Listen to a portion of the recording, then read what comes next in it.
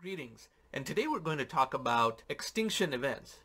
Now, why are those important at all? Especially if you're interested in something like personal finance, for example. Well, the accelerating rate of change pervades everything that we do today in the modern world. We are hitting the steeper parts of the accelerating rate of change, and being cognizant of how the accelerating rate of change goes back billions of years, before technology, before humanity, even before any life forms that we would recognize today is important. Why? Because I want everyone watching this to have a holistic understanding of how the accelerating rate of change is coded into the very DNA of life. And then you will understand how the accelerating rate of change gave rise to modern technology and how we are under an accelerating rate of technological and economic progress even in the modern world. We're already in the early foothills of the technological and economic singularity. So to understand things like personal finance, including why, for example, technology equities will keep outperforming, whereas commodities like oil, gold, and silver will not do very well,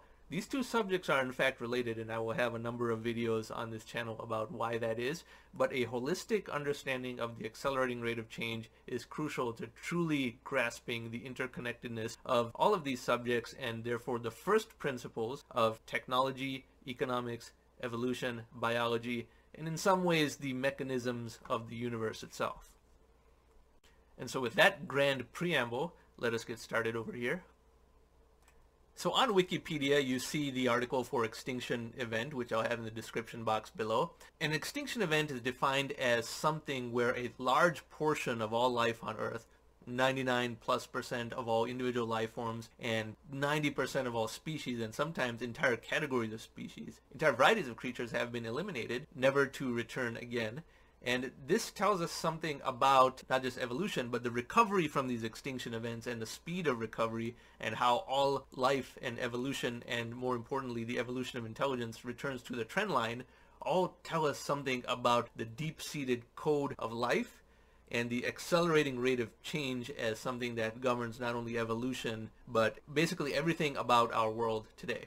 So keeping it simple, there have been a number of these extinction events, but we're going to focus on just two for the purposes of this video. We are going to focus on the biggest one that ever happened, where my cursor is right now, the Permian-Triassic extinction event, 252 million years ago, and the most famous one that ever happened, the Cretaceous-Paleogene extinction event, 66 million years ago. But now before we go to the first extinction event, a note on the charts and the difference between linear versus accelerating rates of change. This chart only accounts for the last 542 million years, from the Cambrian explosion to the present. And the second of the two that I'm going to talk about, the Cretaceous-Paleogene event, looks very close to the present. However, brief sidebar over here, I pull up this chart, which is also in my Atom publication in the first chapter, the prologue. If you consider the beginning of life on Earth, which was very shortly after the Earth itself formed, 4.5 billion years ago, the first 4 billion out of those 4.5 were very primitive. The life that existed then seemed to evolve very slowly because this was the earliest part of the accelerating rate of change. Only the last 540 million years from the Cambrian explosion onward is called the Phanerozoic Eon, and that is expanded. You see, this section is now expanded and exploded into these smaller divisions and now we're going through the Paleozoic era, and the two extinction events we're going to talk about today actually bookend the Mesozoic era. The first one, 252 million years ago, and the second one, 66 million years ago. So two big reset buttons for all life on Earth and how evolution had to redirect in entirely different directions. And that's how we're going to frame the discussion today. The two bookends of the Mesozoic era are what we're looking at, and both are very recent compared to the entire history of the Earth. This orange zone over here is actually the distance between those two extinction events. And that's why the more recent one looks even closer to the present than it is now, even though that was 66 million years ago. But with that sidebar and some intro about how the accelerating rate of change and a logarithmic scale applies, we go back to the extinction event article on a linear scale. So now, clicking ahead to the first extinction event, the Permian-Triassic, you can see here how it describes certain things on Wikipedia. 57% of all biological families and 83% of all genera became extinct. That means entire categories of creatures, entire types of organisms became extinct. And this happened a long enough time ago that the recovery was slow. This was earlier in the accelerating rate of change. And therefore, that is a lesson for why the recovery took so much longer. It took, by many accounts, 10 years for life to fully recover, and the species that existed after the extinction event were, of course, very different, as we shall see.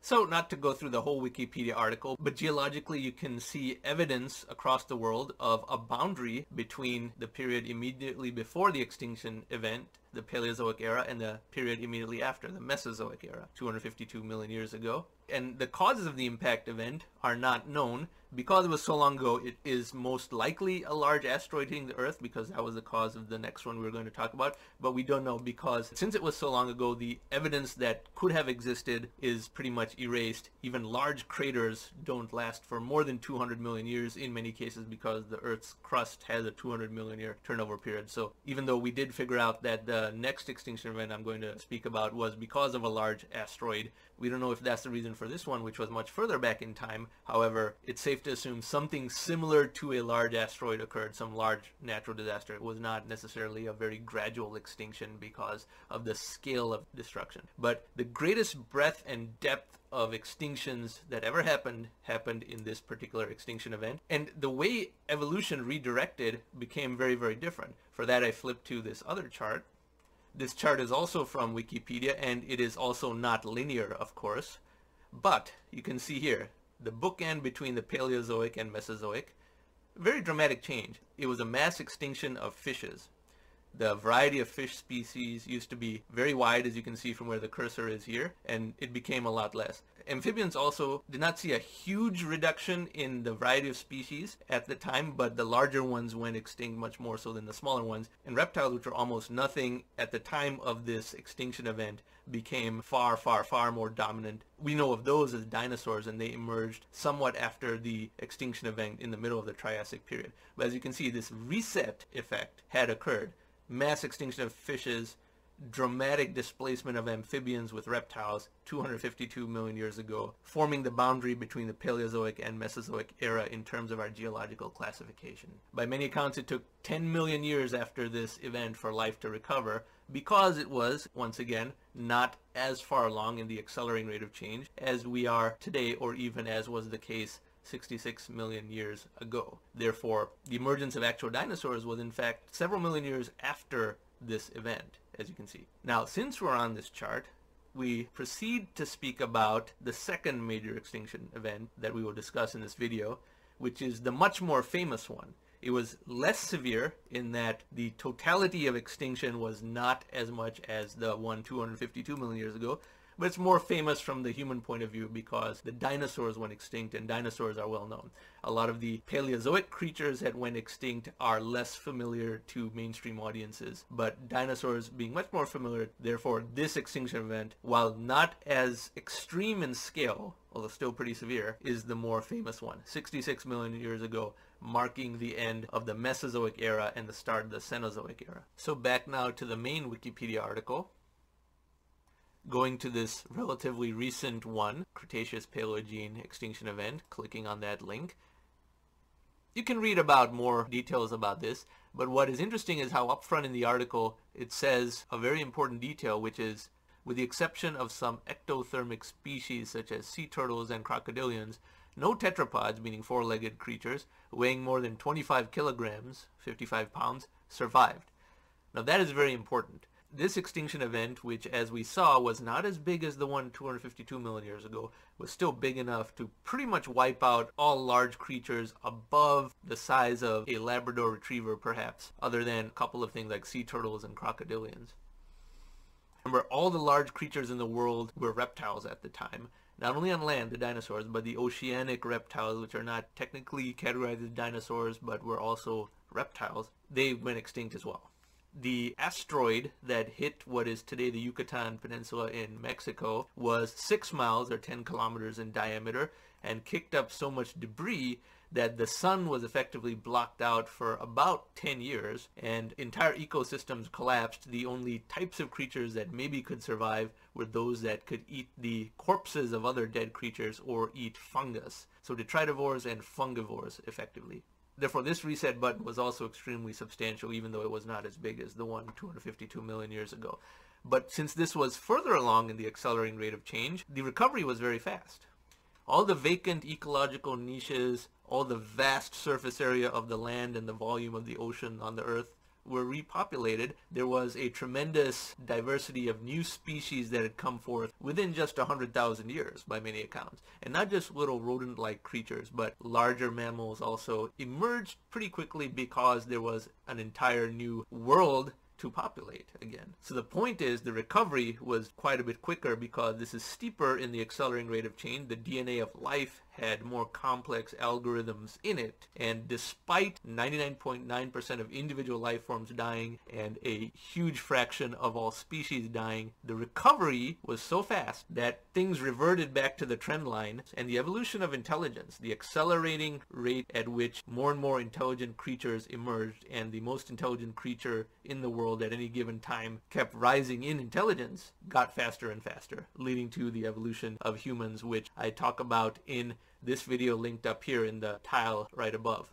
Now, why does this matter to your life at all if this happened 66 million years ago and 252 million years ago, respectively? Well, a holistic understanding of the accelerating rate of change has direct relevance given how steep of a part of the curve we are in. Now the rate of change is so fast that major changes occur within one human lifetime.